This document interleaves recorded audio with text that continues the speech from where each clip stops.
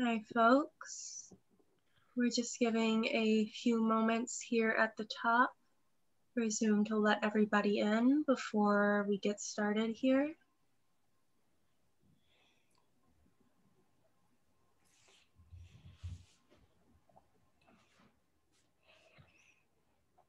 If you are already in tonight's uh, webinar with us, you can open up your chat window and find some information about how to purchase books by tonight's featured authors.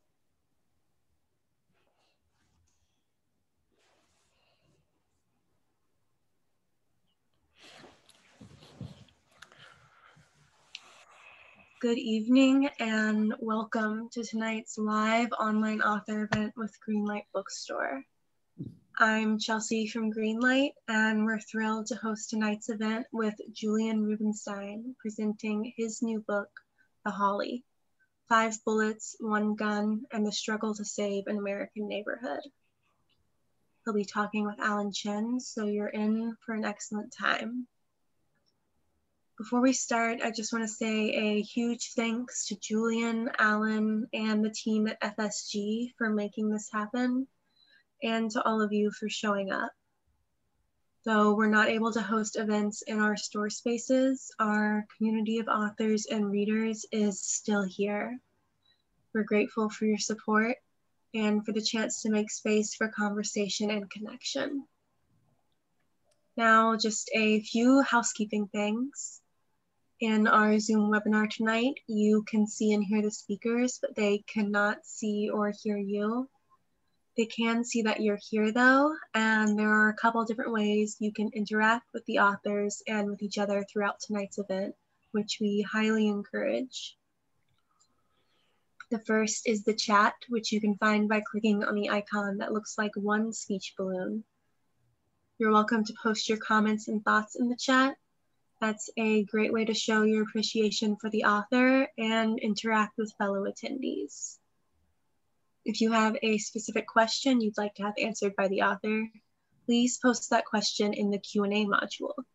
You can find it by clicking on the icon that looks like two speech balloons. We'll be pulling questions only from the Q&A to be answered in the later part of the program. And importantly, tonight's featured book, The Holly, is available for sale from Greenlight Bookstore. You can shop in person in our bookstore locations, noon to 7 p.m. every day of the week. And you can purchase Julian's book and many others on site. Or order online at greenlightbookstore.com for a quick pickup at the store or for shipping anywhere in the US. I'll drop that buy link in the chat.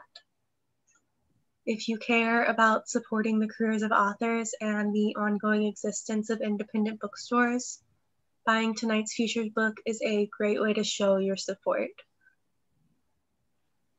Our interviewer tonight is Alan Chin. He was born and raised in New York City's Chinatown.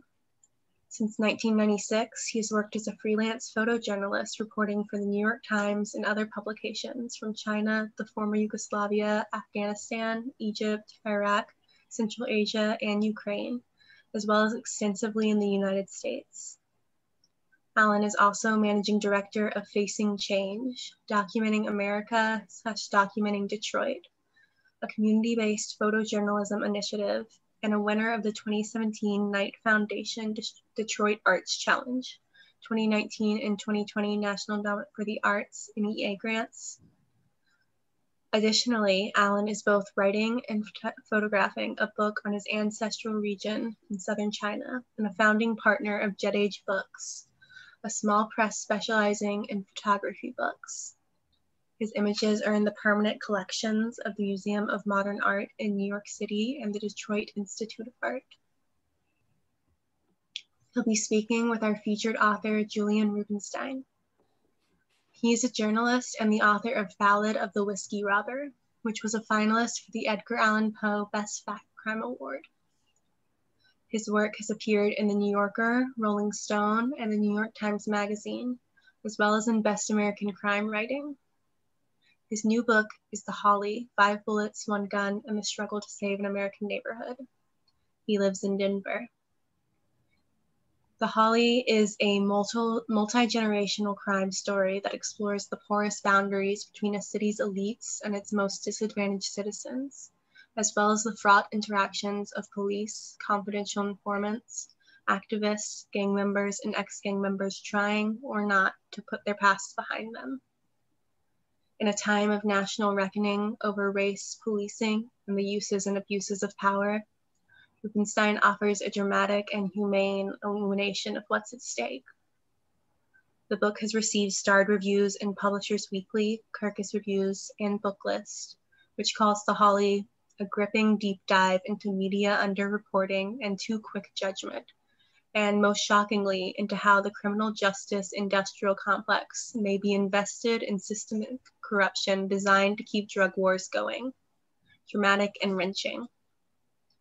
Julian is going to start us off with a reading from the book, and then he'll be talking with Alan and with all of you.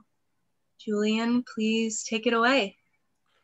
Thank you, Chelsea, and uh, thanks to Greenlight Bookstore. I uh, I miss it there. I lived for a long time in Brooklyn. In fact, I lived in the apartment you see behind Alan Chin right now in Red Hook. Um, and uh, in any case, I uh, will just do a short reading. Um, it's great to be uh, here and talking to, I assume, some people who are in New York and, and wherever you are, though. Um, but I'm now actually left New York and I am now living in Denver uh, in order to do this story seven years ago uh, when I started it. I didn't know that I would move back to Denver where I grew up, but it, that's what it ended up taking um, to do this. Uh, and this particular, I'll just read a short uh, bit and then we'll have a more, uh, you know, engaging conversation as well. Uh, but this is, uh, the book is called The Holly and um, it, it, uh, the Holly is a is a, a place that it was also a shopping center uh, in the center of this uh, neighborhood in northeast Denver, about three and a half miles from no, about five miles rather from downtown Denver. And um, it's sort of been a, really a central hub of this community for a long time. And this community was also the first um, uh, neighborhood, well, the second actually like African American neighborhood in Denver, but the first that was called out to be a purposeful uh, uh, experiment in, in, integration. And the, the community quickly became um, uh, it was a it was a real case of white flight, and um, it had become almost all black uh, within a within a decade. Um, and uh, as it went through the years, um, it went on to not only be uh, the center of Denver's civil rights movement, where a police shooting in 1968 had kicked this act, uh, activism and protests and demands off. Um, and then later, uh, another tragic turn for it was when it became into in the mid 1980s, late 1980s, the first headquarters of, the, of Denver's First Blood gang, and that gang had started, uh, sure enough, as a rival to the Crips gang, which was in Five Points. But of course, there were gangs in Denver, and these neighborhoods were rivals even before that. The book goes into looking at that, but why, for example, the two most historic African American communities in Denver turned their arms against each other and went to war and are still at war. Um, but at, on this particular, uh, in this section, it's a really pivotal, just short few pages. But when the main character, Terrence Roberts, who was a blood, uh, who became a blood, and his father uh, ended up had, had been close with um, founder of the Crips, whose name was Michael Asbury. And uh, so this is when just one pivotal night for both this Michael Asbury and, and the Holly Shopping Center at, at the end of the first act of the book. Um, uh, George Roberts was asleep when his phone started blowing up. This was how he was awakened a few times a week by calls or texts. Usually it meant someone had been shot. The spirit world, so he believed, was with him in these moments. He was a he actually had been a gangster and became a preacher. Still, George was unprepared for the news this day. The, legend, the legendary Crip founder Michael Asbury was dead. George had just seen him. Call me Brother Michael, he'd told George. He was carrying the Bible George had given to him, but, the, but his sadness was apparent. George kneeled, knelt to pray, but the tears came, only briefly. There was work to do. He got dressed. The address he'd been given, a townhouse complex off Colfax in Aurora, was one he knew well. A former girlfriend had lived next door. It was also where Mike's older sister, Star, was living. It was about 9 a.m. when George arrived. A dozen police cruisers and squad cars were parked around the complex. Yellow police tape surrounded one of the homes. Clusters of young men and women huddled together outside it, hugging and sobbing. George spotted some of Mike's family. Hubert, one of Mike's older brothers, was wheezing loudly and clutching Star. They all knew Uncle Georgie. He made and he made his way over. Few in invisible Denver had more access to the word on the street than George. Over the next hour, he learned what had happened. Sometime after midnight, Star was looking to score some dope from, na- from a neighbor. She didn't have any money, so she struck a deal to put up her television as collateral. But she realized she'd been taken. The stuff was woo or fake crack. Star called Mike, who was only a few blocks away, at Wolf's, a motel and dive bar on Colfax. He got to Star's place around 3:30 a.m. and soon was inside the dealer's apartment. They were two young African Americans. Mike didn't know them, and it, and it didn't seem that they knew him. Mike took the first swing, hitting one of the guys in the face. He turned to the other, who had a gun. Mike swiped at it, but two shots came, hitting him in the torso. The dealers ran. Star rushed in. I can't breathe, Mike said to her. An ambulance arrived, but by the time it reached the hospital, Mike was dead. George saw people were streaming toward the area. The crowd was growing well beyond its usual size. Dozens of Crips wearing blue bandanas and shirts stood in the street, blocking, blocking traffic and banging on windshields. Whether Asbury was still running Denver's Crips didn't matter. He would always be the founder and the, and the king. Now the king was dead. George knew as well as anyone vengeance was coming. Some of the police officers who knew George from the funerals they patrolled asked for his help clearing the street. Anyone who's a code five, we're arresting them, they told him. Code five meant people with warrants. George called his boss at the airport and told him he wouldn't be able to come in. He waded into the groups of familiar and unfamiliar faces. Code five, he said. Code five. Before dawn the, fo- the following morning, Terrence, Terrence's phone awoke him. Something was going on at the Holly. He pulled on some clothes and got in the car. When he got close, the streets were blocked by fire trucks and police vehicles. He got out, smelling smoke, and walked toward the shopping center. It was engulfed in flames. From the roof over the liquor store to the family dollar in the middle of the center, flames lashed 40 feet into the night sky. Neighbor re- neighborhood residents began to gather, some in pajamas, as firefighters on ladders high above the shopping center blasted water onto it from thick hoses. When, the, when daylight broke, when daylight began to break, and the fire was still not out, the extent of the damage became visible.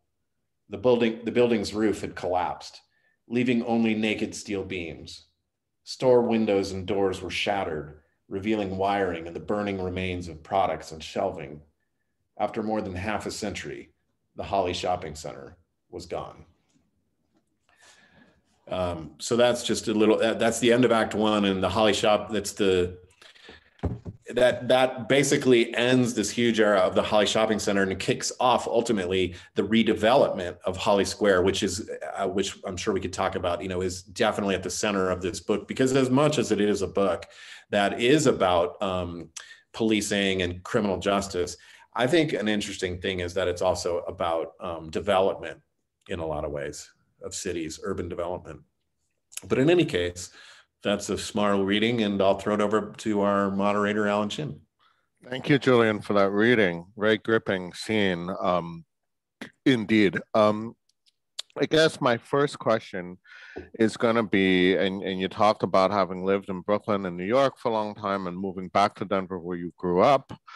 Just very briefly, tell us how and why did you move back to Denver and how and why you met Terrence, who is the main character of your book, the former Blood, um, you know, gang, not just member, but really gang leader um, who renounces all that and and really becomes a community activist um, and uh, you know very successful one at least for a time. So so how how'd you get back to Denver? Why why are you staying there? And and how how and why did you meet Terrence? Um, so right, I grew up in uh, uh, in South Denver. Uh, in the 70s and 80s when it was a very different place. And uh, I had heard about the Holly, but only in these sort of like I had just an impression of it as this dangerous place or whatever. And um, I'd never been. I'd driven past it on the way to the airport. Um, and I left Denver. I spent most of uh, 20 years in New York City.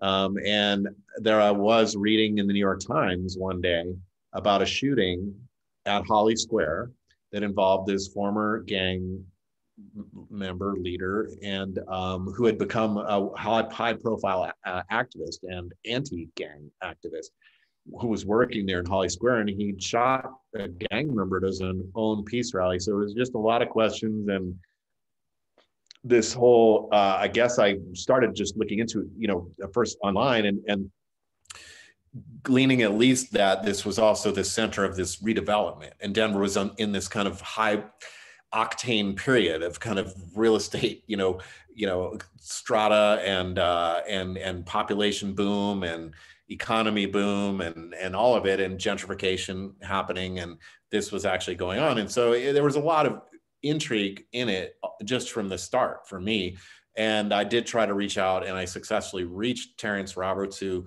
was at that time um, out on bond awaiting uh, trial or the resolution of his case, and he was facing attempted murder. How did you, I mean, how did you even get his number though? Because here you are, you're you're his, white, uh, yeah. Well, you know, you're a white guy. You're a white guy who's lived, uh, you know, in New York. You you right. haven't lived in Denver for a long time. Like you're saying, you didn't know the neighborhood really yeah. at all when yeah. when you were growing up there. So yeah, I mean, but first, um, how I got first, I reached him online by email Terrence Roberts loves life at yahoo.com was his email. And, uh, you know, I found it because of his, yep, because of his, uh, uh, he had a, he had this organization that had a, had a, had a website, a, sm- a small one. Um, but anyway, uh, fortunately it was still up. It was soon down, you know, the, his organization ended up in basically being turned over and he had resigned. But yeah, I finally, I met him and, you know, from the beginning, the things that he said to me were super intriguing as well. He he clearly had a different story about than what was in the media about what happened. Uh, what was in the media was this idea that he had tr- fallen back into gang life basically and and kind of flown off the handle and maybe shot someone. Um, but there not only him, but as I eventually met people, and yes, I'll get into the challenge of that. Um, but basically, there was just a lot of question anyway about what really happened, and then and then it real I started to realize that I had a very big story on my hand, basically, and and you know, and so once I started realizing that, and and because as you know, the book ultimately is you know, in order to kind of start answering this sort of mystery story to me, this not a who done it, but a why done it. We know who pulled the trigger. Why is the question uh, I had to basically go back 50, 60 years into the civil rights movement and trace this kind of like path to how we got to this moment, even to construct like what happened. And so that's what I did. And along the way, I also, as things were happening in real time, uh, quite a story was unfolding in real time while I was there. Um, so yeah, this this actually comes to Tom Vogel here has already typed in the question. Julian, how did you how did you come upon this story, which I think you just answered?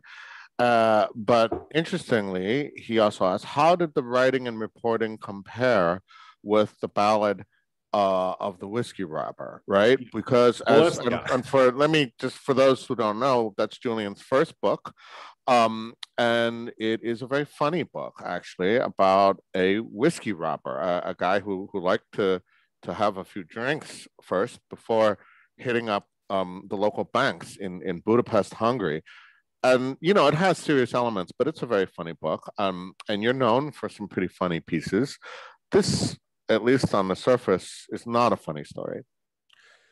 True. Um, it's uh, you know, so so basically what drew me into it was the fact that I was it was I'd never done a story in Denver. I'm fr- I'm from Denver. I grew up in Denver, where I, I ended. Up, I'm now here again, like living here, um, and and I knew it was a good story, and it was something that was like really had a lot of meat on it, like in terms of so many things. So yeah, even though I've written these funny pieces, I think you know also the whiskey robber. I mean, the themes behind it. I mean, the re, the how he became how he became a bank robber and ha, and what he ended up kind of symbolizing in post-communist Eastern Europe was what drew that drew me to that. You know, I, am not just gonna. The, the thing is, as anyone who remembers that book knows, is it was a long time ago, like longer than I would even even like to think ago. But the point is that I have a really high bar, you know, to do a book. It's a damn lot of work, and um, that was an incredible story. And I could honestly start to get a sense that this one,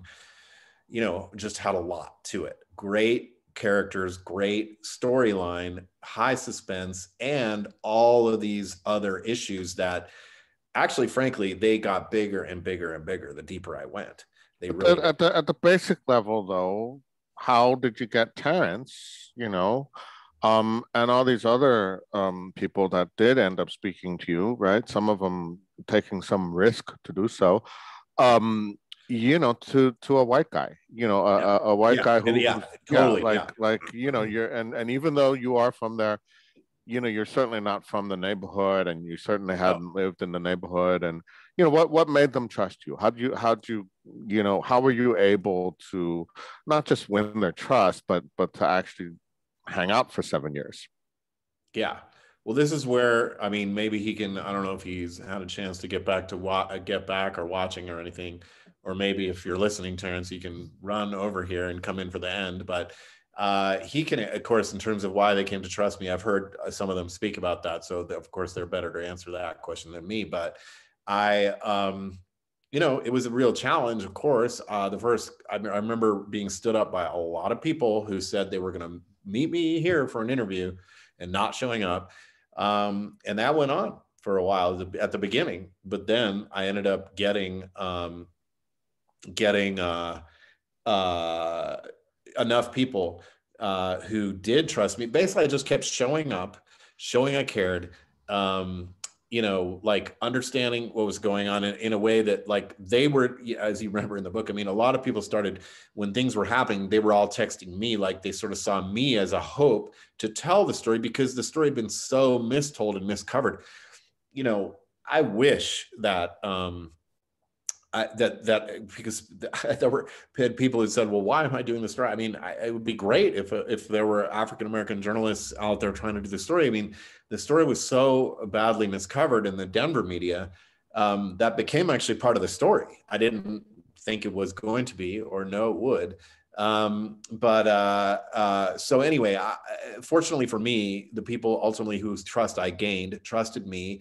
Not didn't mind. Not only didn't mind that I was an outsider, but also said um, that some of them said to me that actually being white might have been an advantage because the level of mistrust among black men in the community is unfortunately so high and part of that is because of the uh, the the volume over the decades of of informants. You don't know who your if your friend is who they say you are, if if your relative even. Um, so there are people who there are a lot of there's a lot of mistrust in the black community, and I guess that might have served me in terms of being less likely to have some weird ulterior motive that might not be uh, okay and and we have our surprise special guest, Terrence Roberts himself. Yes, um, who is. indeed maybe can shed a little light on that. And I think, um, you know, Terrence is the main character of this book, and and as we we've already introduced him in a way. So, Terrence, I'll I'll let you take over for for a minute. Okay, what would you like me to answer? I guess yeah, oh. that's the first question. You know, of, oh, of you might have missed how the question. You but... and uh, yeah, the question is is how did how did you come to trust Julian? You know, who after all is is you know this this white man um, who's not from the neighborhood, even though he is from Denver, but certainly not from the neighborhood, and and not somebody you knew before or anyone you knew knew before. Um, yeah, how'd you come to trust him and talk to him and and let him hang out for seven years and make this book? Well, when when he contacted me, I was happened to be going through my emails and I was getting literally hundreds of emails from journalists from all over the place. And I was just deleting them, deleting them, deleting them. A couple I was a couple I of them I was that, actually. Through. Yeah, a couple of them I was reading through, and it wasn't just journalists. It was some people saying they were journalists, they were not. Some people were journalists, just all kind of people, family. Um, and now some people I was clicking through, some people I weren't. Um, and then when I seen his name, I clicked on it, and you know, he was like, "Hey, I read about this in the New York Times. I'm a journalist. I've written this book," and um, explained who he was. Then I, I googled him and I looked him up, and I seen that he was an experienced journalist. You know, and I was getting I mean, I was literally just getting ran through the mud here with the local media because the local press here were literally letting the same gang members who I was having issues with, who I had to defend my life against, they were literally letting them get into the Denver Post and call me a terrible person. Um, so I needed somebody to tell my story to, and it, it's not like he came to do the book just for me or on me, but I didn't mind that as long as he was going to have an impartial ear, that's what I needed. And uh, once he assured me of that, uh, I'm not ashamed of anything. I'm not a perfect person, but I don't. There was nothing I needed to hide from him. I, I didn't need to hide any emails from him. I didn't need to hide any video from him. Um, I really felt that there was a plot against me to push me out. Uh, I definitely could not tell the Denver Post. I definitely could not call the police. And uh, Julian was like my last hope, to be honest with you. So uh, yeah. it's almost like I had to trust him. So um, coming off of that, and I'll ask this for both of you guys, to Julian and, and Terrence, you know, so Terrence, you did run this um, and start this very small nonprofit called uh, Prodigal Son, right? And and you were, um, you know, working really on the ground, right? Working with gang members and former gang members and neighborhood residents and, and really everyone around there to try to reduce, not just reduce the violence, which you were doing um, pretty successfully, but also try to get some economic, um, you know, jobs and, and, and, and development and education and, and all those things and um, into the neighborhood. And, you know, something that was just mentioned in the introduction here you know there's a there's a criminal justice industrial complex right? Of and you just mentioned it with the informants and how you know people that might still be active gang members are are are, are um, you know they become informants and even get paid um, you know in all these ways uh, both officially and unofficially right?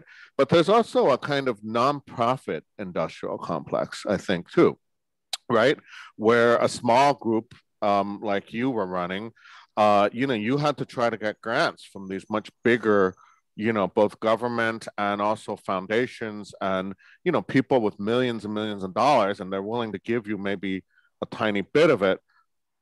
Julian, I'll ask you first, and then we'll turn it over to Terrence. How how did that impact this this whole story, right? You know, of of the larger uh, nonprofits and, and, and foundations and, and, you know, all those forces at play in Denver. How, how did that impact this, the Holly? I would say hugely.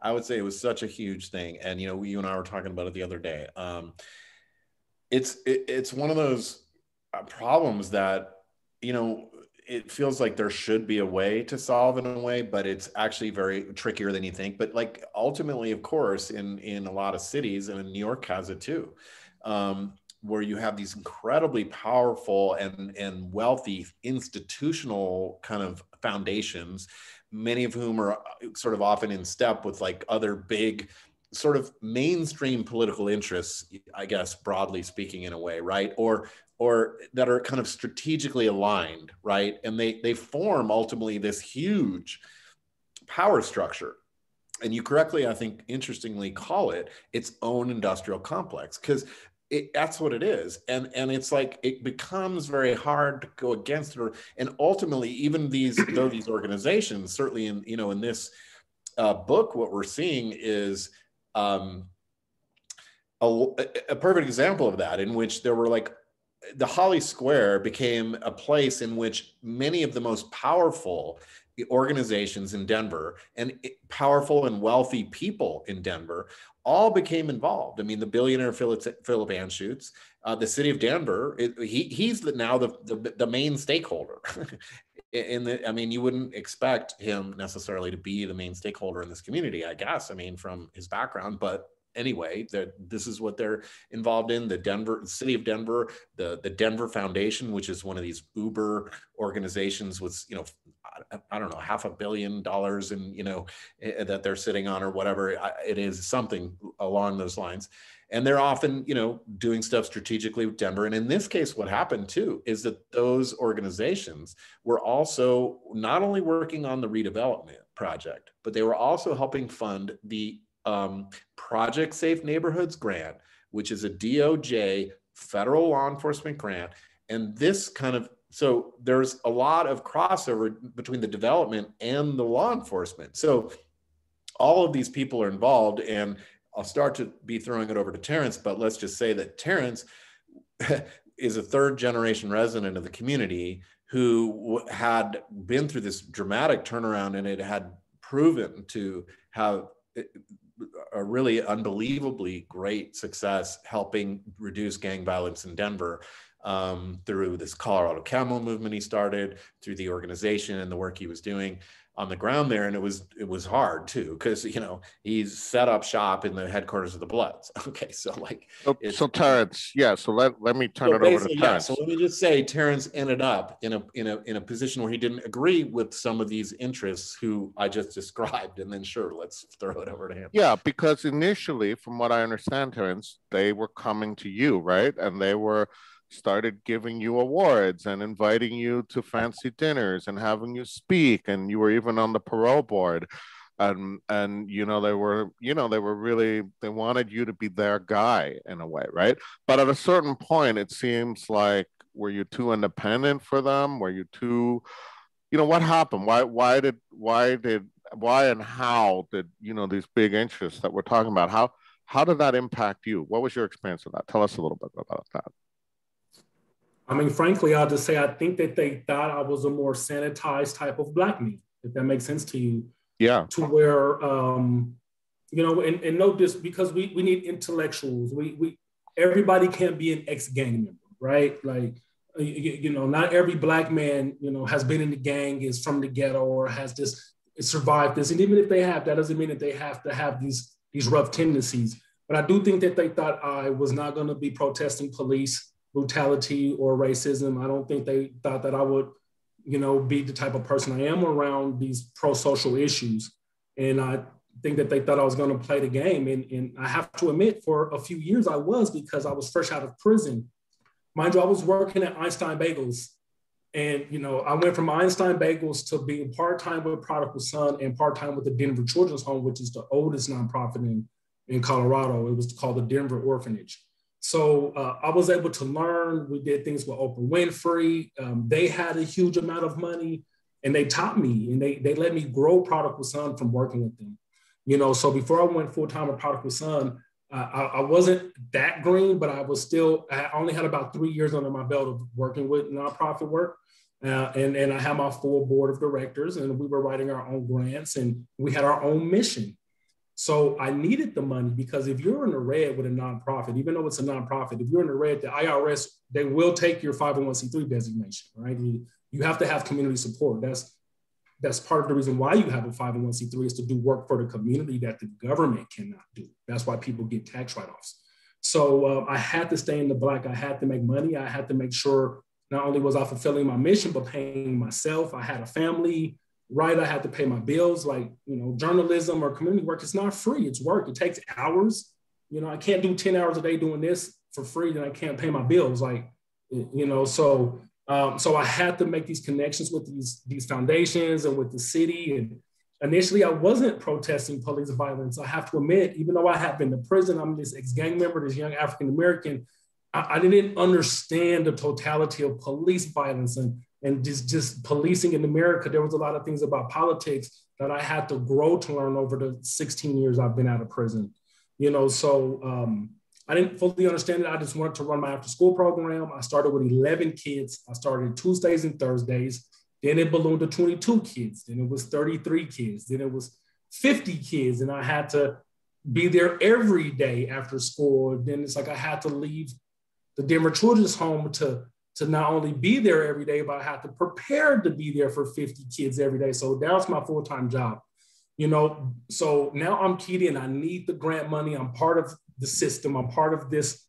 Uh, can I say the word titty? Like, you know, no disrespect. Yeah. Like I'm part of the, you know, I'm, I'm, I'm drinking the milk. I need the milk to stay nourished to, for survival.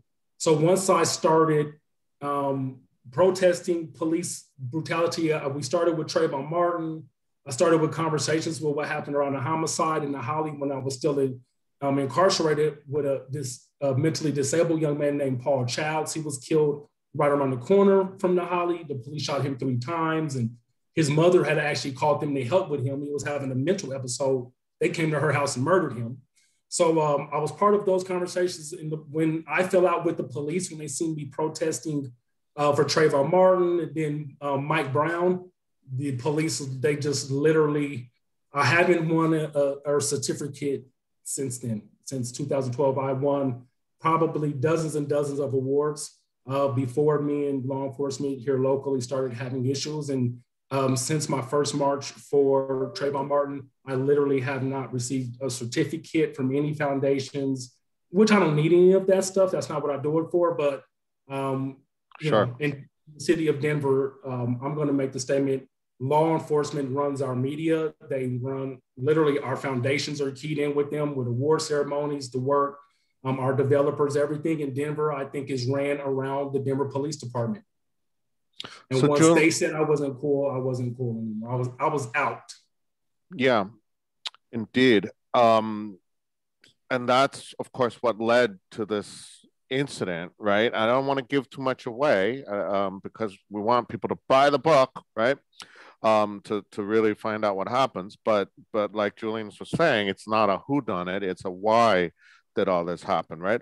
So so that's the context. You're you're running this nonprofit, but you're also you haven't lost your conscience, right? When you see the police committing those those acts, you, you're going to protest, and that means that they're not going to, like you're saying, they're not giving you that money, those awards, or or those things anymore. So, Julian, as as you were researching all this, okay. you know what what what led to this? What led to the shooting? How how did yeah how did well we... yeah i mean so i i just picking up from that i would just say that what's interesting though because and terrence has emerged even in the last year as you know he's been a very important protest figure and was charged with felonies for protesting that's a whole other part of the story and it's in the epilogue of the book of course but uh, anyway um, that that what was going on though was not only did Terrence need these organizations, but then he ultimately took a money from a Project Safe Neighborhoods grant, a federal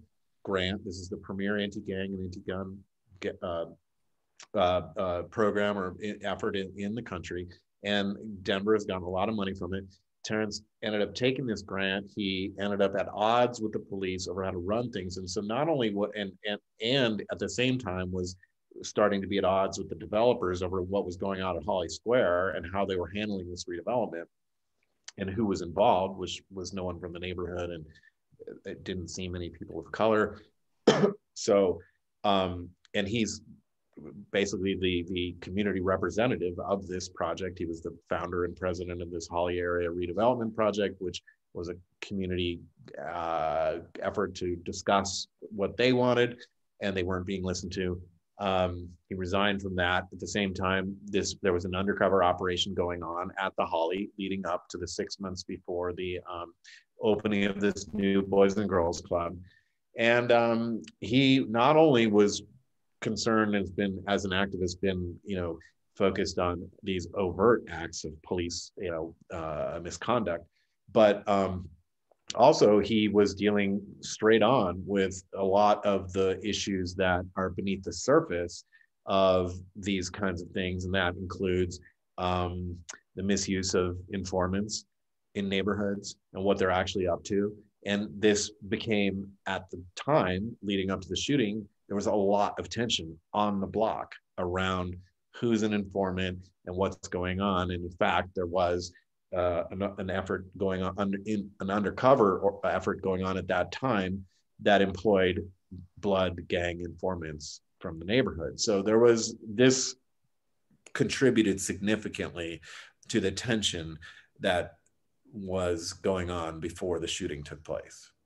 So, Terrence, is that right? I mean, you know, basically, you know, and to be an informant, to be a snitch or a rat is the worst thing that can that anyone can be, right? I mean, to even be called that or have people think that, even if it's not true, uh, people get killed for that, or or or you know, all kinds of things happen, right? Tell tell us a little bit about that whole thing and how how that has worked in in your experience as a former you know as a former gangster but also as someone now who who's an activist. So uh, you know i'm gonna make a statement about like this whole thing about snitching and being a rat. Yeah. If you're a journalist or just a normal college student or a person walking through brooklyn and you see some gang members in new york gun somebody down and you go to court uh, no, no one's calling you a snitch unless they're they're dumbest, most evil, ignorant gang members around. Even gang members will get mad at another gang member and say, "Well, you're dumb, man. Why would you do it in front of a in front of Alan Chin and these guys? Like they're right. they're citizens. Like you did something very dumb. Like that's not snitching. No, no, no. If you are an active gang member, okay, it, where murders are happening, okay, like you know, uh, there, there's there's drugs being sold, there, there, there's sex trafficking going on, there's there's a little bit of everything. Once you have a viable street gang, there's no one leader. You can't control. Other street gangs will make fun of your street gang if you are not doing these things. Okay, so if you're an active gang member, not everyone is involved with sex trafficking or drugs or this, but all gangs are involved with something. You can't work for the police department. And what ended up happening was when I didn't want to play ball, like when I didn't want to do word on the street meetings with law enforcement around the table, you know, because I'm a community activist. If you are a revolutionary or if you are anything that's fighting against law enforcement, if you're a gang member, then of course you're a criminal. you're not sane. You're, you're a gangster. Yeah. Gangsters proudly kill people, right? That's they, they have their guns, they take pictures. So, and if you're a revolutionary, we're, we're fighting against police brutality, we're passing laws, you know, I'm not an anarchist, but I'm definitely here for better policing. I think that policing started from racism, and right now, from where we started to where we are now, it's still a racist. Um, it's a racist culture, you know. So um, that's a part of many different organizations. So when I didn't want to, you know, have these meetings, and when they felt like I was an activist, I was against policing, and, and they decided they didn't like me, they had active gang members who were at the time informants for the police for drug deals, homicides, getting pistols off the streets. But since these guys were now they're like around 50 years old, these guys were in their mid 40s at the time. They, they didn't want to just do drug and gun deals. They said, well, if Terrence doesn't want to do it, we already have a problem with him for being a gang dropout, anyways. Um, we'll do it. We, want to we want to do things differently. We would like to be activists. We would like to be in his position. I don't like to say when someone's jealous of me or anything if that's not true. I'm not you know, I'm not the, I'm not all that, right? But I do think those guys were jealous. Um, they've, they've, they've had other people who've listened to them admitted to Julian. Um, and they said it out their own mouths. There was jealousy there for my media attention. People thought I had more money than I had. Um, I was getting a small salary because I, that was my full-time job, but I was not getting rich. I could not pay my bills. I, I could barely pay my bills, take care of my family. And have a hundred dollars, a couple hundred dollars at the end of the month, just like any other. I paid my taxes. It was my full-time job. Um, and I think those guys were thinking I was getting hundreds of thousands of dollars. I think those guys wanted media attention and they just wanted to make something of their lives while also being active gang members and getting paid by the police. And um, when I said I didn't want to do some of the things and I had my attitude about it, the police were like, we don't care if he doesn't want to do it. We have these OG bloods are his big homies, and we have these Crips and these other guys who are tougher than him and they'll push him out. And when they started putting that plan in motion, it started leading to them getting the younger guys involved. And once those guys get involved, it just got out of control. You can't control what happens after that. They're gang members, you know. So, yeah, it it it, it, it seems to me like those guys were able to play both sides, right? They were still active gang members, so they're still making money from from like you're saying criminal uh, activity, whatever it is, right? but at the same time they're getting money also now from the police and and and from you know the safe streets program and and um you know all these other things right like they're they're they're actually they're getting it both ways and it seems to me that that is isn't that kind of the definition of police corruption in a way right well i mean the thing is that uh, what i saw for sure is you know after this shooting terrence was replaced by literally a group of four active gang members who moved into his office and I guess you know the city managed to pretend they thought they weren't active gang members or something. I don't know, but the results were absolutely disastrous. The violence spiked and it has continued to go up every year as as more and more monies come in, and it's just right now. Actually, thankfully, the book has been putting some pressure on the city of Denver, and there's been some stories about that. Um, and maybe this is going to come to an end, but uh, it, it, it, certainly is is is a series of events or a sequence of things and a combination of things that makes one wonder whether or not the goal of law enforcement is to eliminate gang violence, which they've said they were going to do for 30 or 40 years now, and it's just kept going. Uh, as as I think most of us know, in most cities, it's getting worse over the last couple years. Denver's among them.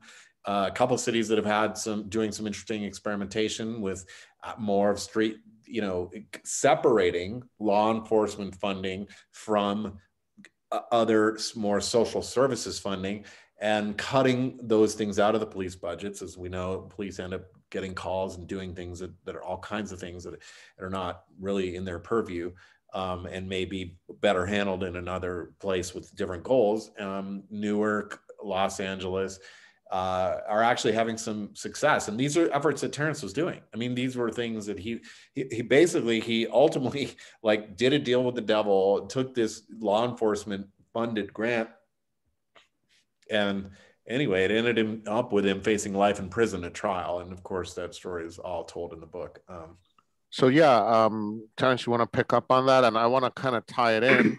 we have a couple questions here from our audience, which is, uh, you know, to, to bring, and I think you were mentioning it too, with the killings of of, um, you know, people like Breonna Taylor or or um, of course George Floyd, and uh, it is now exactly one year since uh, George Floyd was killed in Minneapolis.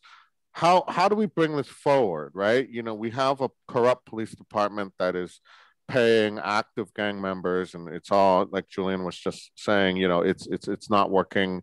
You have um a, a system where obviously clearly the way that police operate in, in, in our cities is, is racist and is is just overly violent right? Like forget i mean not forget but in addition to you know people dying from crimes people are dying from the police. We know that. And so yeah on, on this first anniversary of of uh, george floyd this is a question from tom moore. You know how how does that connect for you? Um you know so first yes we did have to take that grant. Um, for, survival. You know it's not easy running a 501c3 and you're an ex-gang member and you're in invisible Denver and you you know you have to raise hundreds of thousands and fifty dollar pops is not going to get it right. So for sure, you need ten thousand dollar grants, twenty five thousand dollar grants. You need fifty thousand dollar grants. You need to pay salaries. You need to. I had to buy playgrounds, do maintenance, all kind of things. And once I received the money, they felt I had an obligation to play by the rules uh, because I was receiving their money. It's their money, you know. It's it's it's law enforcement money, and law enforcement is at the table. And when I refused to do word on the street meetings, um, it got really nasty. Um, it got really bad.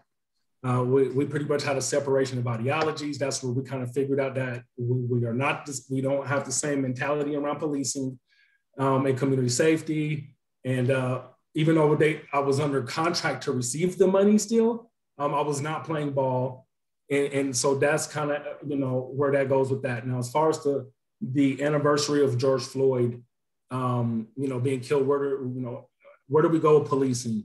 You know, one thing you have to do. Why, why is lobbying so big in Washington? Because in order to make people act right, sometimes you got to pass laws. That's why who the president is is so important, right? That's why certain people wanted Biden to be president, certain people want Trump to still be president, because that's power. Like policy is power. Once you pass a law, the police will enforce it by gun, whether they like the law or not. They will say, I don't even like the law, but right now I'm getting paid and I'm getting overtime. I'm gonna need you to step, I need you to put your hands up. You're breaking this law. I don't like it, but I have my gun and you need to put your hands behind your back.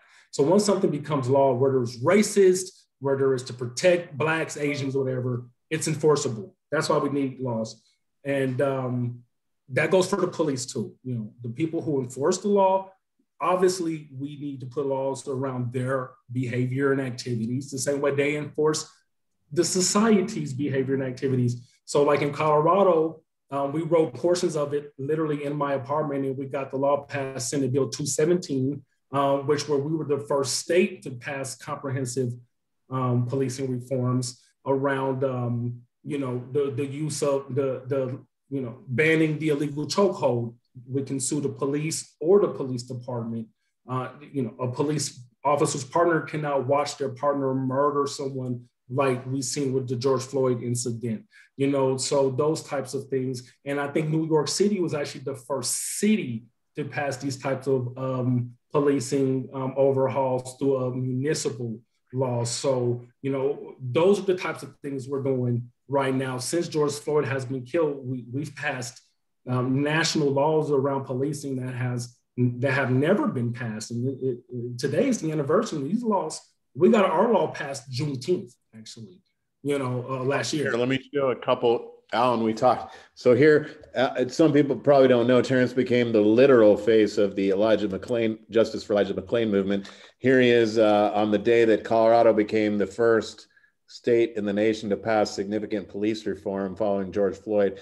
Um, he, uh, these are photos from the book actually, but um, the, uh, the, he was uh, recently, well, in the last year, he was arrested for his for his uh, leading of these protests and charged with inciting a riot and other charges. A few other protest leaders were also arrested.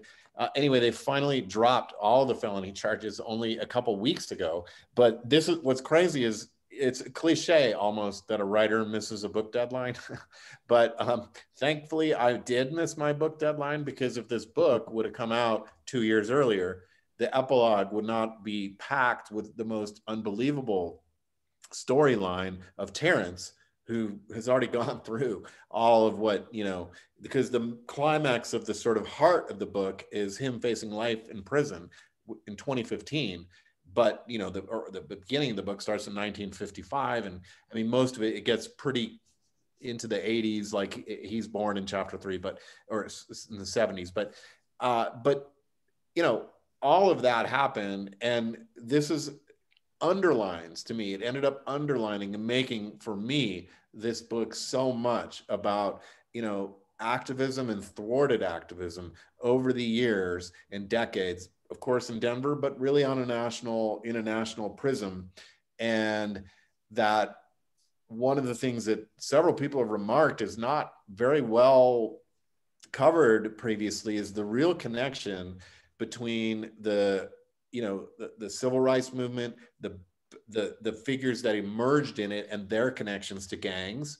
And then the, the when when the civil rights movement and many of those leaders like the panthers were eliminated the rise of street gangs.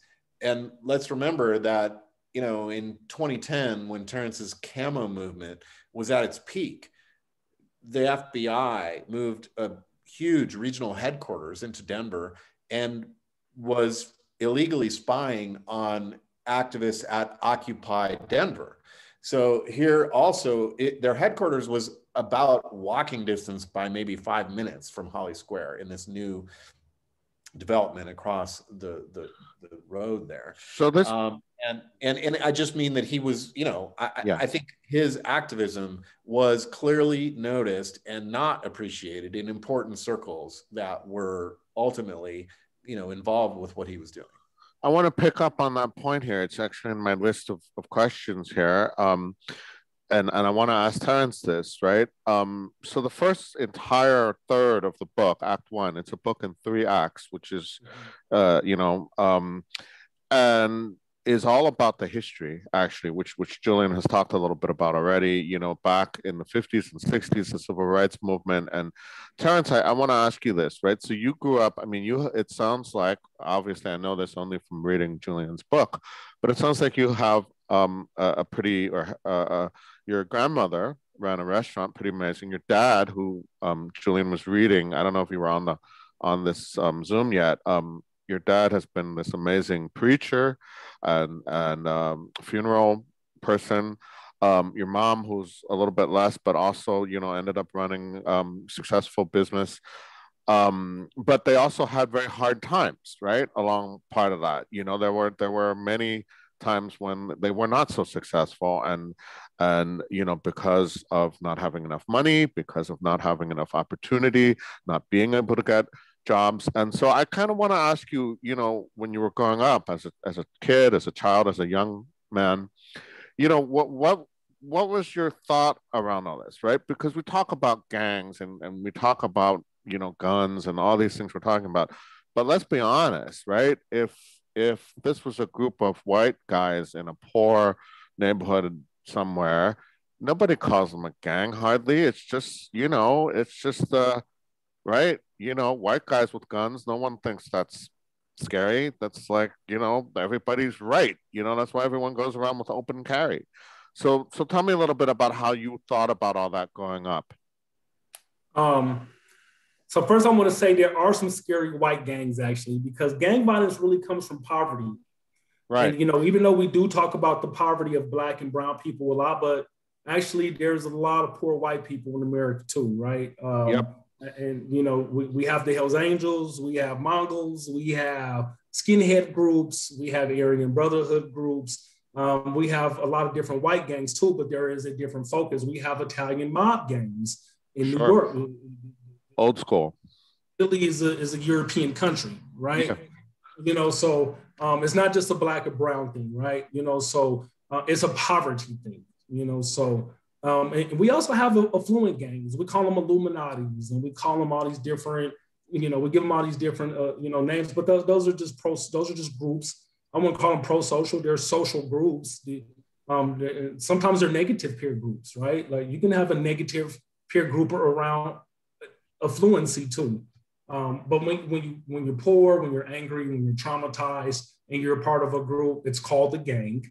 And um, you know what emanates from that is a lot of times violence. You know that everybody doesn't have 20, 30, 100,000 dollars to say, well, we're a gang, but instead of killing someone, let's let's take a trip. You know, let's let's go see Alan in New York. Let's Right. our gang just go to New York. That that's our gang activity, right? right you know so you know growing up in park hill uh, when crack cocaine hit it, it, it is a it is a small microcosm of the story of south central los angeles on a, on a, on a much smaller scale you know uh, these things befell them before us but as these things went east and I've seen um, a question by mr moore asking about the difference between denver gangs and, and and New York gangs, like like you know, we have the Nine Trey bloods from Tekashi 69.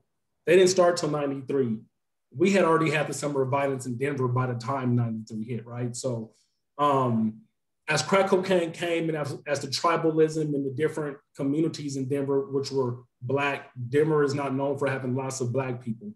But for the few black communities we had, there, there was definitely dividing lines. And, um, you know, the more people started just falling off into drug abuse and the more it wasn't just like this middle class black uh, you know, blue collar community, the more became where we're Crips over here and we're Bloods, you know, and we're selling dope over here, even though we're Bloods and you're a Blood, but we don't want to see you on that block. You can go over there. Once that kind of stuff started and uh, people started hurting each other and people's parents were using drugs and just it, it Park Hill went from a, a, like almost a perfect middle class black community in the in the early 80s after they cleaned up some of the arson and stuff from the. It, it, it, my early childhood went from like almost a perfect African American experience with the gang stuff we've seen just being fisticuffs and bottles, and it was almost like a movie. It was almost like Karate Kid, right? And then it, it got real serious. You know, people started getting shot, people started getting killed.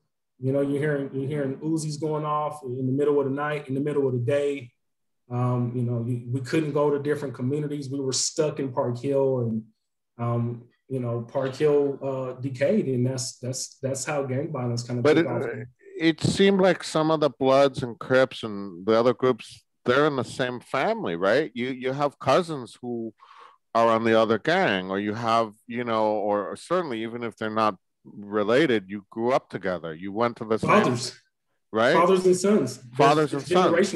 You'll have yeah. a Crip father and a blood son. Yeah. You'll have a you'll have a blood brother and a Crip brother who maybe had a separation.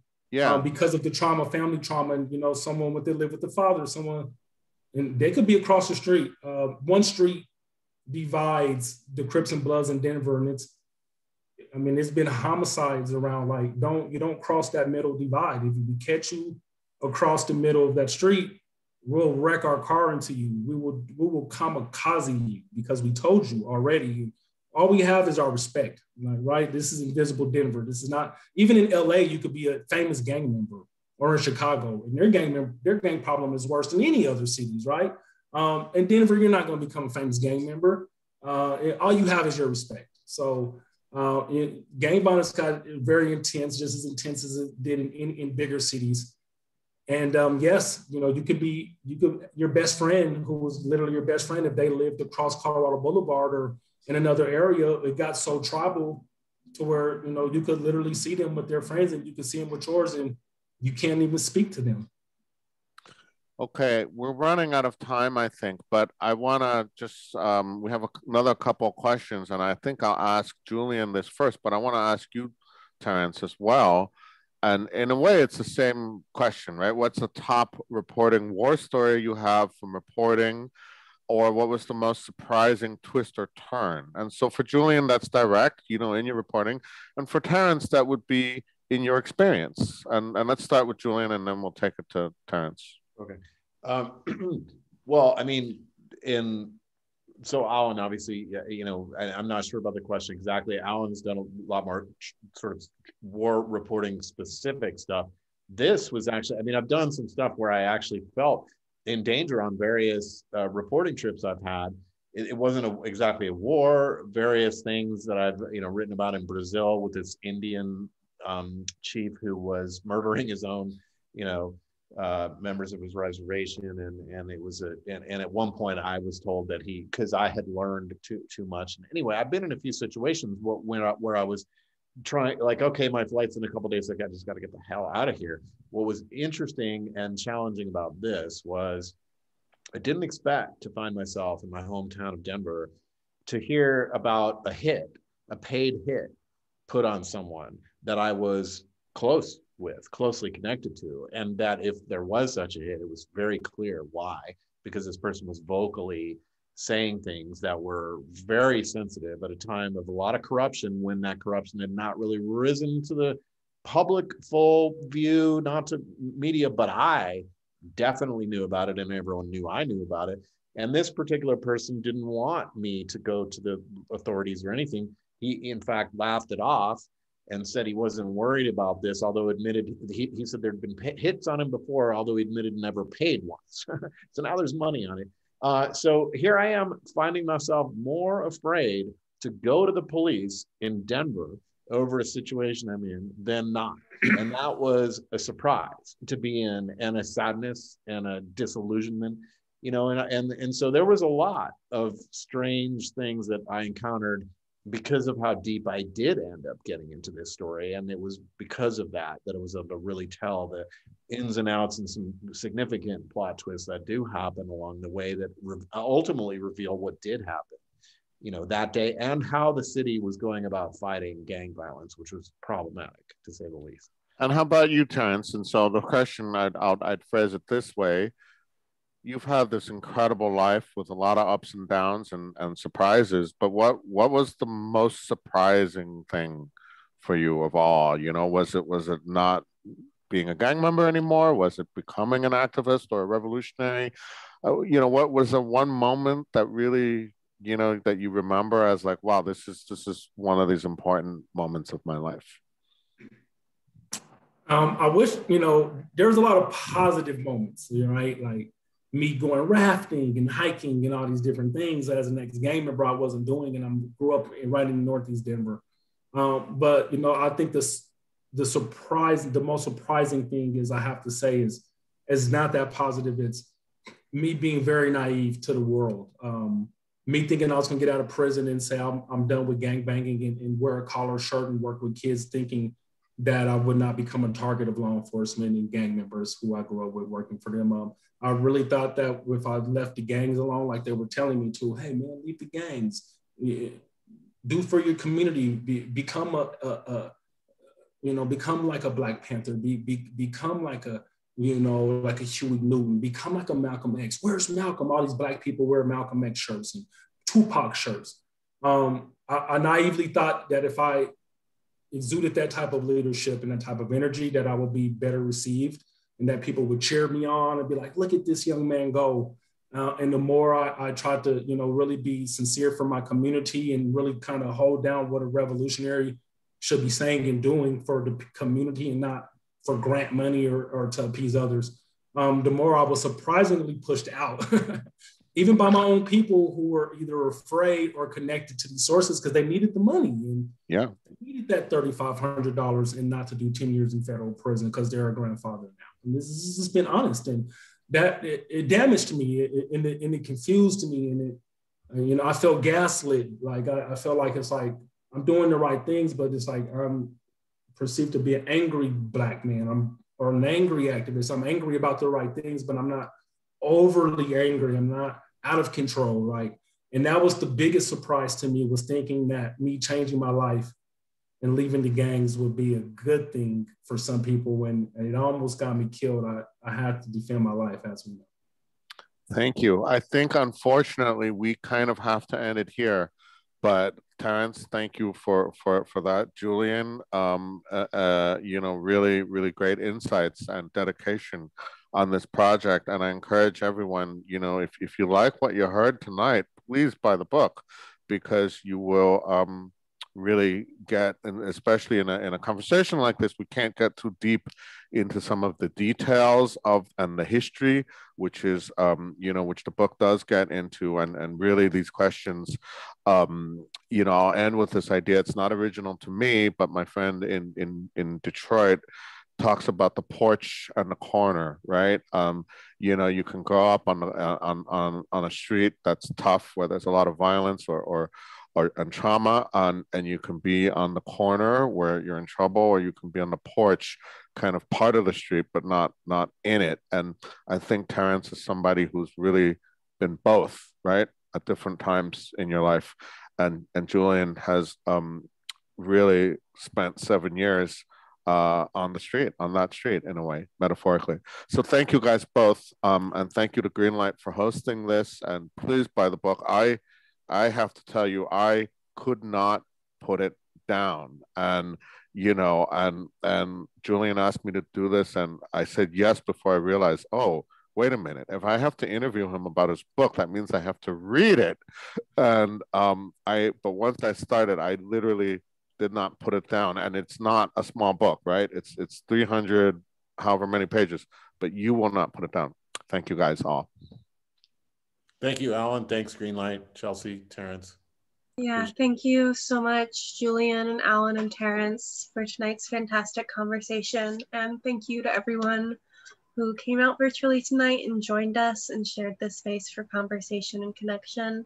A reminder again that you can buy the Holly at Greenlight. Uh, if you're local to Brooklyn, we're open for limited capacity shopping noon to 7 p.m. every day or you can find the book buy link in the chat and shop at greenlightbookstore.com for either a local in-store pickup or for shipping anywhere in the US.